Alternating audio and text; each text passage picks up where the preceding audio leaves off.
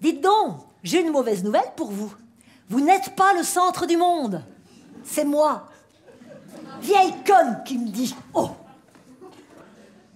Alors avant, dans l'insulte vieille conne, c'est vieille qui me blessait.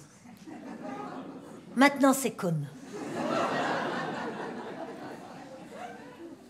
Je veux bien vieillir, mais je veux vieillir bien.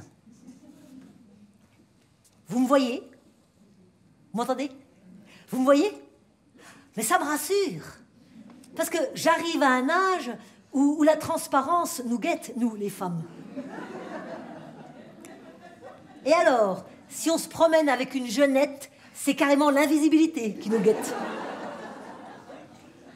À la rigueur, si on reste visible, c'est qu'on gêne monsieur qui veut draguer la jeunette. Et même si monsieur a 20 ans de plus que nous, pour lui, la vieille personne dans le trio, c'est nous.